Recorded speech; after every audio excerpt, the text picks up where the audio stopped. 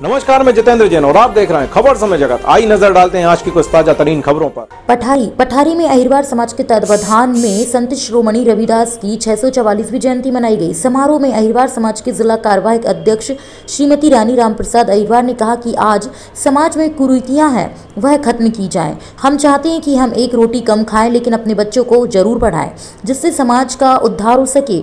इस अवसर पर ब्लॉक अध्यक्ष शैतान सिंह अहिरवार, छोटेलाल अहिरवार, कोषाध्यक्ष मंदन लाल अहिरवार, सुनील सूर्यवंशी तेज सिंह अहिरवार आदि समाजजन मौजूद रहे। आज हमने संत रविदास जी की जयंती मनाई है पठारी में।